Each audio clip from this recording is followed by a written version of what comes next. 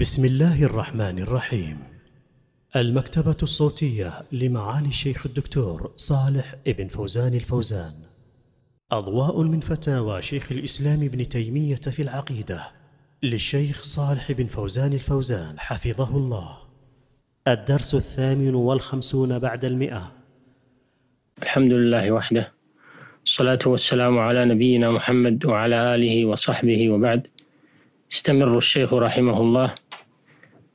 يذكر ما يرمي به أعداء السنة من تمسك بها وسار على منهج السلف من التهم المكذوبة.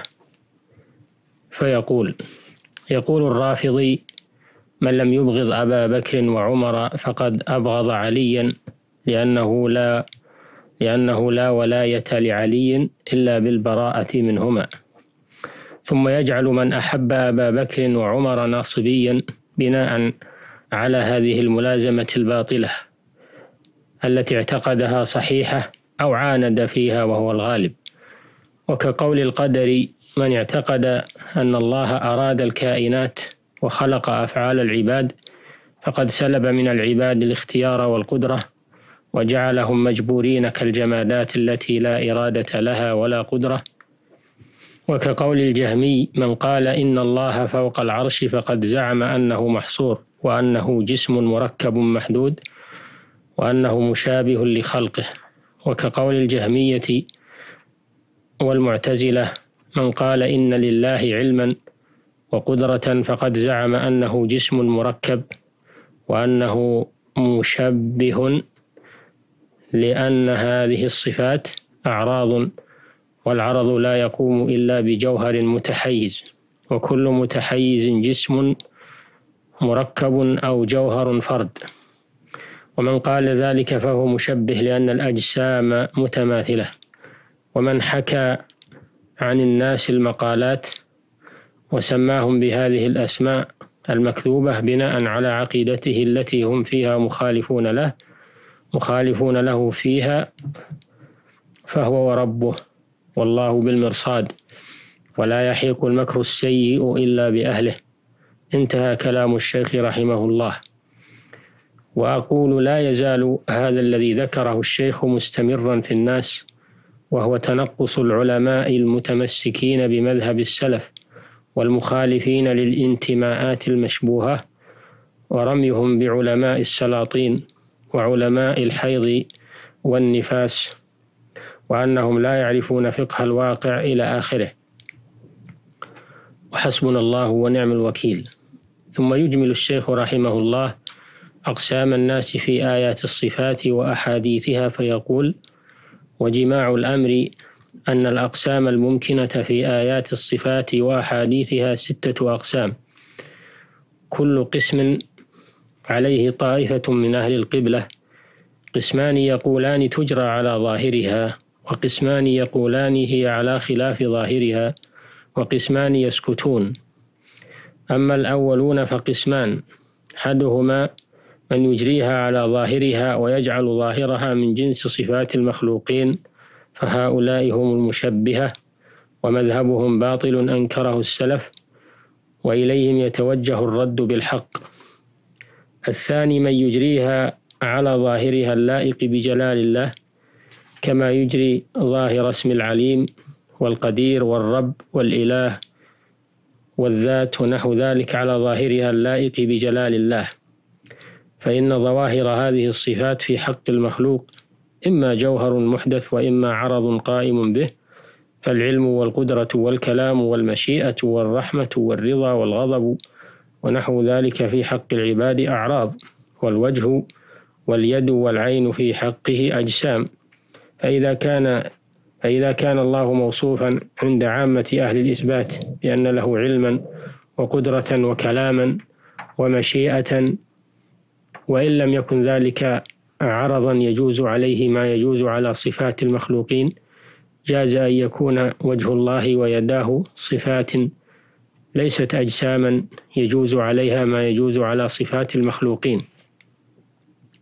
وهذا هو المذهب الذي حكاه الخطابي وغيره عن السلف وعليه يدل كلام جمهورهم وكلام الباقين لا يخالفه وهو أمر واضح فإن الصفات كالذات فكما أن فكما أن ذات الله ثابتة حقيقة من غير أن تكون من جنس المخلوقات فصفاته ثابتة حقيقة من غير أن تكون من جنس صفات المخلوقات. فمن قال لا أعقل علما ويدا إلا من جنس العلم واليد المعهودين. قيل له كيف تعقل ذاتا من غير جنس من غير جنس ذوات المخلوقين؟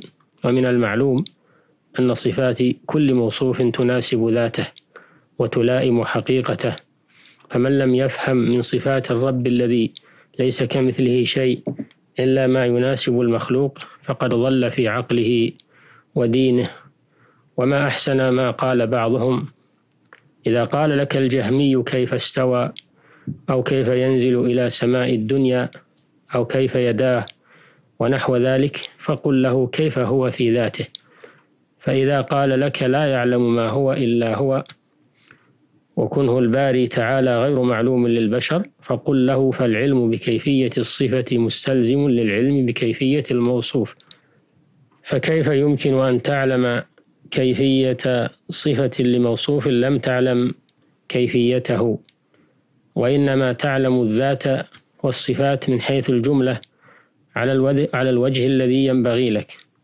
بل هذه المخلوقات في الجنة قد ثبت عن ابن عباس أنه قال ليس في الدنيا مما في الجنة إلا الأسماء قد أخبر الله تعالى أنه لا تعلم نفس ما أخفي لهم من قرة أعين وأخبر النبي صلى الله عليه وسلم أن في الجنة ما لا عين رأت ولا أذن سمعت ولا خطر على قلب بشر. فإذا كان نعيم الجنة وهو خلق من خلق الله كذلك فما ظنك بالخالق سبحانه وتعالى؟ وهذه الروح التي في بني آدم قد علم العاقل اضطراب الناس فيها وإمساك النصوص عن بيان كيفيتها أفلا يعتبر العاقل بها عن الكلام في كيفية الله تعالى مع أن نقطع أن الروح في البدن وأنها تخرج منه وتعرج إلى السماء وأنها تسلب منه وقت النزع كما نطقت بذلك النصوص الصحيحة. لا نغالي في تجريدها غلو المتفلسفة ومن وافقهم حيث نفوا عنها الصعود والنزول والاتصال بالبدن والانفصال عنه أو نجفوا فيها حيث رأوها من غير جنس ال... وتخبطوا فيها حيث رأوها من غير جنس البدن وصفاته. فعدم ما يماثل فعدم مماثلتها للبدن لا ينفي أن تكون هذه الصفات ثابتة لها بحسبها إلا أن يفسروا كلامهم بما, بما يوافق النصوص فيكونون قد أخطأوا في اللفظ وعنا لهم بذلك. ولا نقول إنها مجرد جزء من أجزاء البدن كالدم والبخار. مثلا أو صفة من صفات البدن والحياة كما يقوله طوائف من أهل الكلام. بل نتيقن أن الروح عين موجودة غير البدن وأنها ليست مماثلة له وهي موصوفة بما نطقت به النصوص حقيقة لا مجازا فإذا كان مذهبنا في حقيقة الروح وصفاتها بين المعطلة والممثلة فكيف الظن بصفات رب العالمين؟ وبهذا القدر كفاية في هذه الحلقة فإلى الحلقة القادمة بإذن الله. صلى الله وسلم على نبينا محمد وآله وصحبه.